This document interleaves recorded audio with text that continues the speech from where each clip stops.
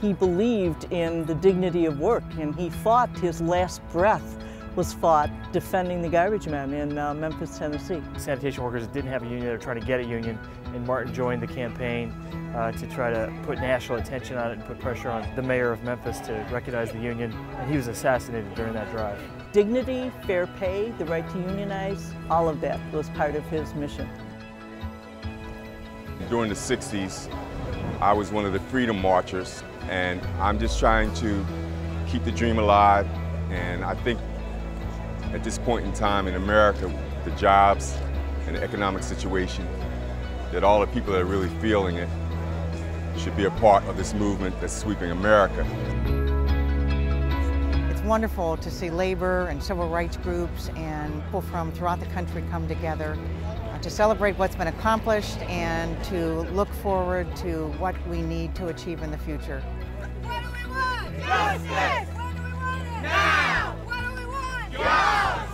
When do we want it? Now! What do we want? Justice! When do we want it? Now! You're here today.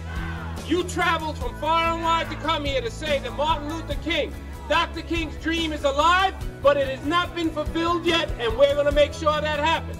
Are we not? Are we going to stand together once and for all? I mean, once and for all, and say enough is enough. Enough is enough. This country needs to be great, and we're going to make it so. Dr. King reminded us that we must stand up and speak out for social justice, for educational opportunity, and for economic opportunity. And he called on us to end inequity and the divisive politics you see in Washington, D.C. right now. Our country is in the grip of a social, educational, and economic emergency.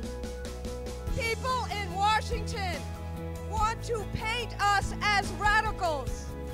Well, is it radical to want people to work?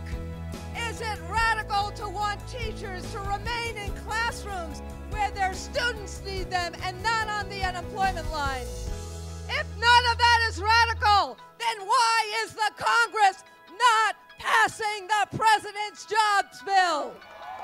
Will we fight for that jobs bill? Will we march for that jobs bill? Are you ready? Is enough enough? We come to take country back to the people. Single mothers can't take care of their families. While you send us to schools that don't have enough money to give us the teachers that can teach us. Then you want to demonize teachers and act like teachers that try to help our children. Some that have to go to school with no breakfast in their bellies. You want to cut the teachers. You want to cut the firemen. You want to cut the policemen. You want to cut the municipal workers. While you take care of your tycoons, we are telling you, look at the mall today. We just getting started. We get ready to organize. PFT is one of the strongest unions in the country. They've done a lot for the rank and file. I know it's helped me and it's helped a lot of teachers. It's given them hope.